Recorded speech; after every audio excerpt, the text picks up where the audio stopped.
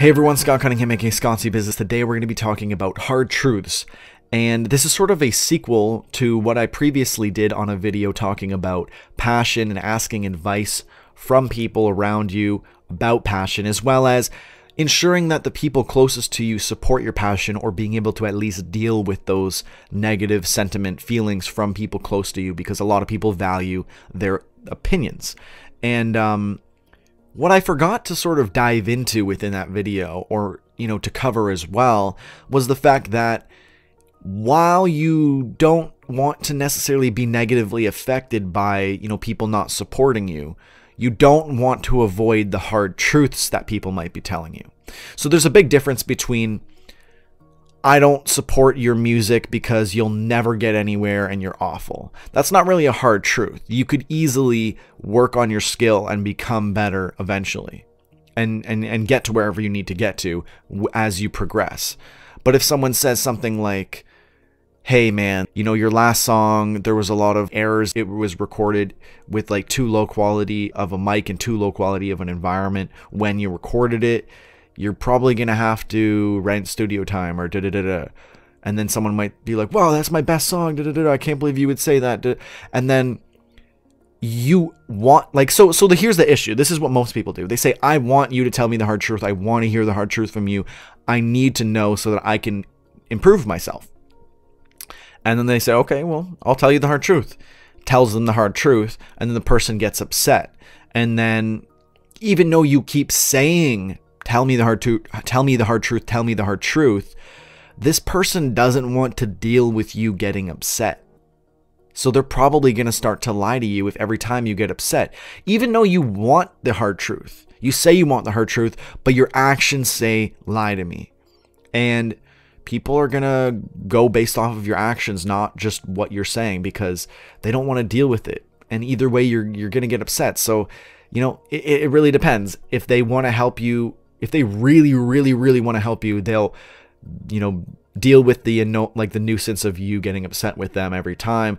But I don't know how long people are going to put up with that when they're just there to help you, right? So that's why you've got to ensure that if you're asking for hard truths from people, that you've got to be super, super neutral when receiving this advice and you know just knowing that they're telling you the hard truth and that it's not going to be easy and being just very prepared for that so that you don't unintentionally get them to start to lie to you. It's not easy, but it's definitely crucial because eventually you're going to accidentally whether whether or not you're trying to have yes men who are just hyping everything that you do and agreeing with everything because they want to, you know, have the connection with you or the cloud or whatever it might be or you're unintentionally doing it by saying one thing and your actions saying another thing, and then everyone accidentally sort of starts to lie to you because they're just not, they're just trying to avoid the awkward situations that you create with your actions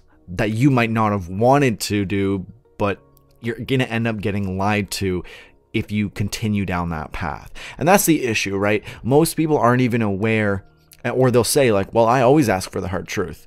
But it's not as much about asking for the hard truth is it a, as it is about reacting to the hard truth. And that I think is the most important part of ensuring that you don't have yes men around you is the way that you react to hard truths. Because it might not just be your friends, right? It could be your uh, you your boss asks for a hard truth and no one's going to tell the boss the hard truth because the last guy, you know, told the boss the hard truth and he yelled at them and then didn't bring them to the next meeting. And it's like, well, if you want to get to the next meeting, it depends on your, it, it will affect your financial potential in the future if you are not a yes man for your boss. So then the problem is the boss will always assume everything he's talking about is just the best ever because everyone's going to say yes, it's amazing. And no one's going to tell him the hard truths that might actually help improve the business, but otherwise they're not going to get that because they've built an environment of yes men and encourage that, whether or not it was intentional. So I'm very curious to hear about what you guys have to say from this or for this because I think this is a very interesting topic and it and it definitely connects to what I was talking before about how you do want the people around you to support your passion but you also need them to give you the hard truths and that's why you need to ensure the way that you react to the hard truths is like you're trying as hard as you can to react in the best way possible right? Otherwise, these people aren't going to be reliable and you are going to self sabotage. It's not what they're doing.